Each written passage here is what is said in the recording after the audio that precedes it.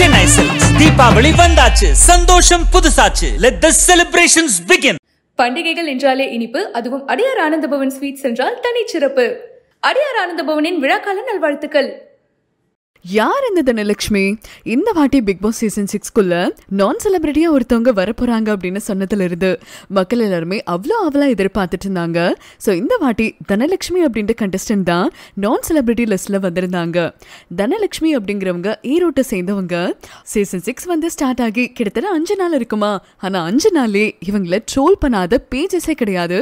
பொதுவா GB முத்தோட army வச்சு செஞ்சுட்டு இருக்காங்க தனலட்சுமியை டேக் பண்ணி. ஸோ தனலட்சுமி வந்து ஈரோட சேர்ந்தவங்க சின்ன வயசுல இருந்து தனக்கு வந்து டான்ஸ் ரொம்ப பிடிக்கும் ஆக்டிங் ரொம்ப பிடிக்குமா? சினிமாவில் தனக்குன்னு ஒரு கேரக்டர் கிடைக்கணும் அப்படின்னு சொல்லி என்னைக்குமே அவங்க வந்து டிக்டாக் அண்ட் ரீல்ஸ் மூலியமா ஒவ்வொரு வீடியோஸும் அப்லோட் பண்ணிட்டு இருப்பாங்க ஒவ்வொரு கேரக்டர்ஸுமே அவ்வளோ யூனிக்காக அவங்க வந்து தானே மேக்கப் போட்டு தானே வீடியோ எடுத்து தானே எடிட் பண்ணி அவங்க சோஷியல் மீடியா பக்கத்தில் அப்லோட் பண்ணுவாங்க. இதுக்குன்னு தனிப்பட்ட ஃபேன் பேஸே இருக்கு. தனலட்சுமி நிறைய வாய்ப்பு தேடி அழிஞ்சிருக்காங்களா? ஆனா வாய்ப்பு கொடுக்கறதுக்கு நீங்க யாரும் முற்பட்டு வர மாட்டேங்கிறாங்க அப்படின்னும். அதனால தான் பிக் பாஸ் பிளாட்ஃபார்மை நான் தேர்ந்தெடுத்தேன் அப்படின்னு சொல்லியிருந்தாங்க. இவங்க வந்து நிறைய ஷார்ட் ஃபிலிம்ஸ்ல நடிச்சிருக்காங்க. அது போக குமரவேலோட டெரெக்ஷன்ல பறை அப்படிங்கிற ஆல்பம் சாங்ல ரொம்ப அழகா நடிச்சிருப்பாங்க. அதையும் தாண்டி என் நவலுக்காக அப்படிங்கிற வெப் சீரிஸ்லயுமே ஆக்ட் பண்ணிருக்காங்க. சின்ன வயசுல இருந்து ஒரே ஒரு விஷயத்துக்காக தான் ஆசைப்பட்டிருக்காங்க. அதுவும் சினிமா ஸோ சினிமால இன்னி வரைக்கும் அவங்களுக்கு ஒரு பெரிய சான்ஸ் ரெக்காக்னிஷன் எதுவுமே கிடைக்கல. அது எல்லாத்தையுமே இந்த சீசன் மூலியமா அடையணும் அப்படின்றதுனால தான் தனலட்சுமி இந்த வாட்டி நான் செலிபிரிட்டி லிஸ்ட்ல என்ட்ரி கொடுத்திருக்காங்க. தனலட்சுமியை பத்தி பர்சனலி சொல்லும்போது தான் வந்து கவர்மெண்ட் ஸ்கூலில் தான் படிச்சிருக்காங்க அப்படின்னும் தனக்கு அம்மானா ரொம்ப பிடிக்கும். நான் அம்மா தம்பி நாங்க மூணு பேர் தான் ஒரு ஃபேமிலி மாதிரி.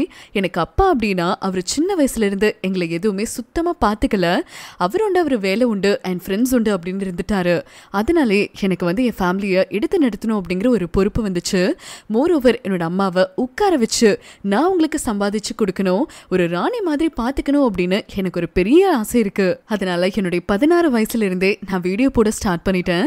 அதுல இருந்து இப்போ இருபத்தோரு வயசு வரைக்குமே நான் கண்டினியூஸா பல்வேறு கேரக்டர்ஸ்ல வீடியோ மூலியமா நான் பண்ணியிருக்கேன். எனக்கு முழுக்க முழுக்க சப்போர்ட்டா இருக்கிறது என்னோட அம்மா தான். மோரோவர் அவங்க தான் நிறைய டைம் வீடியோஸை எடுத்து கொடுத்துருக்காங்க அப்படின்னு தெரிவிச்சிருந்தாங்க. அப்படி தனலட்சுமி டிக்டாக்ல பண்ணிட்டு இருக்கும்போது அவங்களுக்கு அந்த சமயத்திலேயே ஃபோர் லேக்ஸ் கிட்ட ஃபாலோவர்ஸ் இருந்துச்சாம் பட் டிக்டாக் பேன் பண்ணதுக்கு அப்புறமா இப்ப சோஷியல் மீடியா பக்கம் வந்துட்டாங்க. அவங்க டிக்டாக் பண்ணிட்டு இருந்த சமயத்துல தனக்கு வந்து பர்சனலி ஜீப்பு முத்து ரொம்பவே நல்லா தெரியும் அப்படின்னும் ரெண்டு பேருமே சேர்ந்து டூயட்ஸ் எல்லாமே டிக்டாக்ல பண்ணி பண்ணியிருக்காங்க அப்படின்னு தெரிவிச்சிருந்தாங்க. ஸோ பிக் பாஸ் உள்ள வரதுக்கு முன்னாடி ஜிபி முத்துவை ரொம்ப நல்லா தெரியும். அதனாலே தனலட்சுமிக்கு ஜிபி முத்துவை பர்சனலி பிடிக்காது. என்னடா நம்ம இத்தனை வருஷமா வீடியோஸ் போட்டுட்டு இருக்கோம்.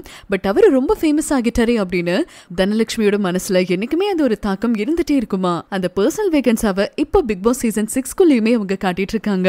இப்போ ரீசெண்டா ஜிபி முத்து கூட நடந்த ஃபைட்ஸ்ல கூட அந்த சண்டை முடிஞ்சுமே ஜிபி முத்து அப்படின்ற ஒரு வார்த்தை சொன்னப்போ கூட ஜிபி முத்துவா அவர் ஒரு லூசு அப்படின்னு அவங்க கேமரா முன்னாடி சொன்ன உடனே ஜிபி முத்துக்குன்னு இருக்கிற ஆர்மி அண்ட் ஃபேன்ஸ் எல்லாருமே சேர்ந்து பயங்கரமா கொந்தளிச்சுட்டாங்க. அது எப்படி என்னோட தலைவனை பத்தி நீங்க சொல்லலாம்? உங்களுக்கு வந்து பர்சனல் வெகன்ஸா இருக்கலாம். அதுக்குன்னு ஒரு மனுஷனை போட்டு இவ்வளோ பர்சனலி அட்டாக் பண்ணக்கூடாது. அவருக்கு ஃபேன்ஸ் வெளியே நிறைய இருக்கு அப்படின்னு சொல்லி ஆரம்பத்திலே அவரை வீக் பண்ண பாக்குறீங்களா அப்படின்னு ஜிபி முத்தோட ஃபேன்ஸ் எல்லாருமே தனலட்சுமியை வச்சு செஞ்சுட்டு இருக்காங்க இதெல்லாம் ஒரு பக்கம் இருக்கவே இன்னும் சில பேர் இது அது இல்ல அப்படிங்கிற மாதிரி ஒரு ஓல்டு வீடியோவை எடுத்து இப்ப பயங்கரமா ட்ரெண்ட் பண்ணிட்டு இருக்காங்க திருச்சி சாதனா அப்படிங்கிற டிக்டாக் இருக்கும்.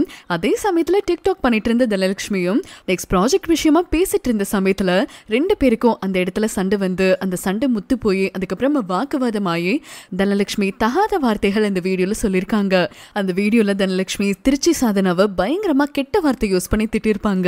இப்போ தனலட்சுமியுமே பிக் பாஸ் சீசன் சிக்ஸ் வந்ததுனால அந்த ஓல்டு வீடியோஸ் எல்லாமே இப்போ வைரல் ஆகிட்டு வந்துட்டு இருக்கு இது பார்த்ததுல இருந்து ஃபேன்ஸ் எல்லாருமே அடடா தனலட்சுமி இவ்வளோ கெட்ட வார்த்தை பேசுவீங்களா அப்படிங்கிற மாதிரி தான் ஃபேன்ஸ் எல்லாருமே கமெண்ட்ஸ் மூலியமாக கேட்டுக்கிட்டு இருக்காங்க ஜிபி முத்து கூட இப்போ பர்சனல் வேகன்ஸாக வச்சு அவரையுமே இப்போ கார்னர் பண்ண பார்த்துட்டு இருக்காங்கல்ல இந்த வாரம் வேற அவங்க நாமினேஷனுக்குமே வந்துட்டாங்க.